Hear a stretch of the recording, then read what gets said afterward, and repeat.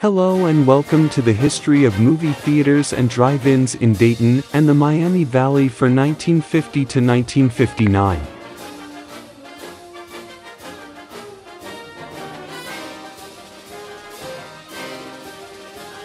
On May 17th, the Skyborne Drive-In is opened in Fairborn by Chakeres Theaters.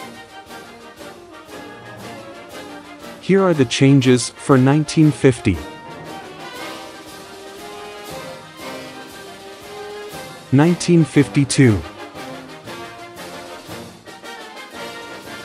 The Mecca Theater closes. 1954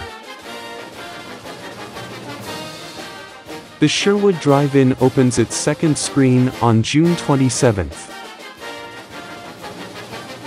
The new Salem Theater opens on July 2nd. 1956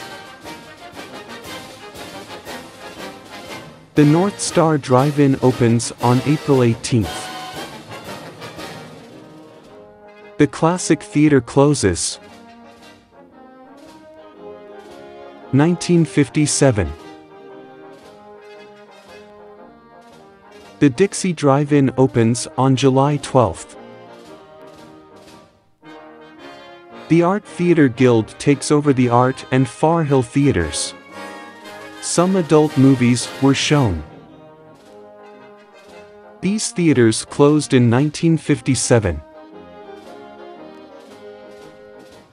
1958 The McCook Theater starts to show road shows in 35 millimeters.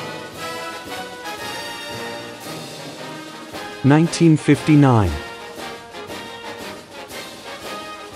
The Dale Theater closes. Thanks for watching, remember to like and subscribe.